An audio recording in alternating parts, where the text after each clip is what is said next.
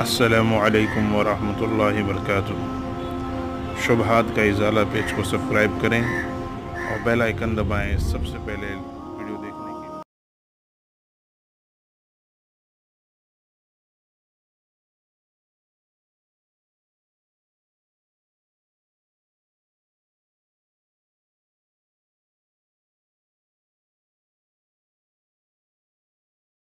کہتے تھے حضرت الاستاد نے یہ مدرسہ صرف تعلیم و تعلم کے لیے نہیں بنایا۔ میں جانتا ہوں کہ حضرت الاستاد نے اس کو اس لیے قائم کیا کہ اٹھارہ سو ستاون کی ناکامی کی تلافی کی جا سکے۔ مولانا محمد قاسم نانوتوی ان علماء میں تھے۔ جنہوں نے مولانا رشید احمد گنگوئی کے ساتھ، مولانا امداد اللہ کے ساتھ، حافظ زامین کے ساتھ اور دیگر حضرات کے ساتھ وقت کی سپر پاور سے ٹکر لی۔ جیسے آج امریکہ، آج جو ٹرمپ سے ٹکر لے، وہ ان کا نمائندہ ہے۔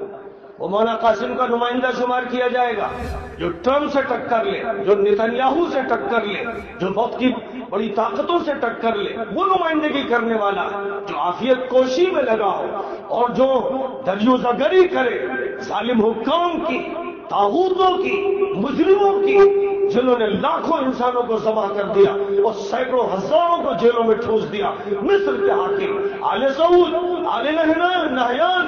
اور یہ سارے مجرمین کے ٹولے جنہوں نے علماء کو جیلوں میں ڈالا ہے، جو ان کی دریوزہ کری کرے جو ان کے سامنے کاسے لیسی کرے جو ان کے سامنے جھکے جو ان کے سامنے حق نہ بولے وہ قاسمی نہیں ہے۔ خدا کی قسم، قاسمی نہیں ہے۔ قاسمی وہ ہے جو وقت کی سپر پاور سے ٹکر لے۔ اور پھر شاگرد رشید شیخ الہند نے اپنے اپنے نمائندے۔ اپنے نمائندے استاد کے مشن کو سمجھا۔ تو اپنے نمائندے کابل بھیجے ماسکو بھی گئے برلن گئے حجاز گئے استنبول گئے۔ دنیا میں جو طاقتیں اس وقت برٹش گورنمنٹ اور برٹش امپائر کے خلاف تھی کتنا بڑا پلان تھا کہ دنیا کی ان تمام طاقتوں کو جوڑ کر، ایک طاقتور محاذ بنا کر، برطانیہ کو اس ملک سے نکال باہر کرنا ہے۔ یہ وہ تحریک تھی جو اس شخص کی تھی جو دارالعلوم میں حدیث پڑھا رہا تھا۔ بظاہر وہ مدرس حدیث تھا، لیکن وہ مدرس حدیث نہیں تھا، وہ ایک عالمی انقلابی شخصیت کا حامل تھا۔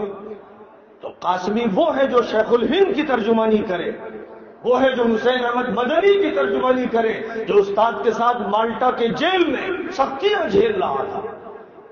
وہ قاسمی نہیں ہو سکتا ہے، جو وقت کے ظالم حکمرانوں کے سامنے جھکے، جن کی دہائی دے، جو ان کی لیڈرشپ کو تسلیم کرے، جو ان کی ووٹ کی بات کرے، وہ نہیں ہو سکتا۔ میں نہیں مانتا، آپ مانتے ہو تو مانتے ہو۔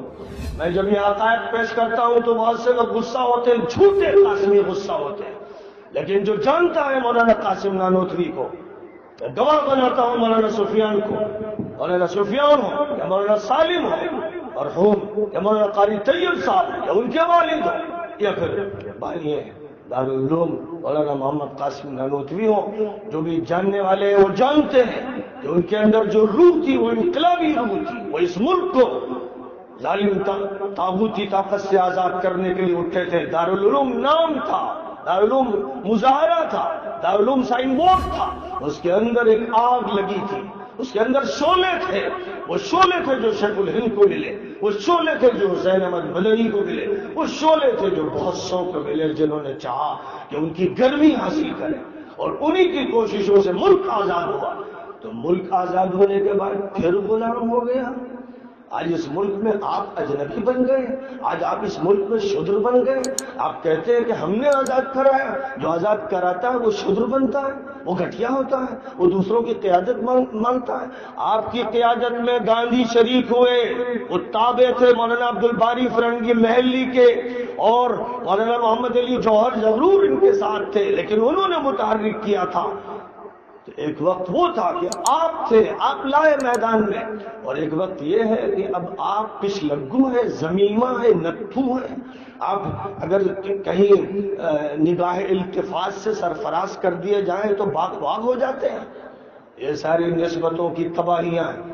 حقائق کا اعتراف کرتے ہوئے کام کرنا ہے۔ دیوبند کو زندہ کرنے کی ضرورت ہے۔ تمام تعلیمی اداروں کو حضور پاک علیہ السلاۃ والسلام کی نسبت سے منسوب کرنا ضروری ہے، صفت سے متصف کرنا ضروری ہے۔ اور کن تم خیر امت اخریت للناس کا سبق پڑھنا پڑھانا ضروری ہے۔ اور وہ الذی بعث فی الامجین رسولا منهم یتلو علیہم آیاتی ویزکیہم ویعلمہم الکتاب والحکمہ۔ ایسی تعلیم دینی ہے، ایسا تزکیہ کرنا ہے کہ وہ ٹیم تیار ہو جائے، جو پھر دس لاکھ مربع میل کو آزاد کرے، وہ ٹیم تیار ہو جائے جو عراق کو، شام کو، ایران کو اور مصر سے لے کر اسپین تک اور ایران سے ترکستان اور چائنا اور ہند کو جس طاقت نے آزاد کرایا، جس نے مسجد نبوی اور صفح نبوی میں تعلیم حاصل کی، جس کو بیٹھنے کے لیے چٹائی نصیب نہیں تھی، جس کی چھت پتوں سے مٹی سے بنی تھی، جس کے ستون کھجور کے تنوں کے تھے، اس میں بیٹھ کر جنہوں نے پڑھا، وہ صحابہ، حضور حضور پاک علیہ السلاۃ والسلام کے تربیت یافتہ جن کو تعلیم دی گئی اس نصاب کی جس نصاب کو قرآن نے بیان کیا ہے، اور پھر وہ ایسے تیار ہوئے کہ وقت کی حکومتوں کو، انہوں نے تاغوتوں کو زیر کر دیا اور اسلام کی بالادستی کو ثابت کر دیا۔ وہ انتم الاعلون ان کنتم بہت مبارک ہو یہاں کے طلبہ کے لیے، یہاں کے اساتذہ کے لیے، یہاں کے ذمہ دار اعلیٰ کے لیے، یہاں کے تمام حضرات کے لیے اور جہاں جہاں بھی مدرسے ہیں، ان سب کے لیے مبارک ہو کہ ایک نسبت اللہ نے عطا فرمائی۔ اب جو دوسری حقیقی نسبت ہے، اس کی کوشش کرنا ہے، اس کے لیے لگ جانا ہے تاں کہ ہمارے اندر بھی اس نبوی کا کچھ جوہر پیدا ہو جائے۔ صحابہ کرام کا کچھ عکس نظر آنے لگے اور فاتحین کی تصویر ہمیں دکھنے لگے۔ اللہ تعالیٰ وہ دور اس سرزمین ہندوستان میں ہم کو عطا فرمائے اور پورے عالم میں نصیب فرمائے۔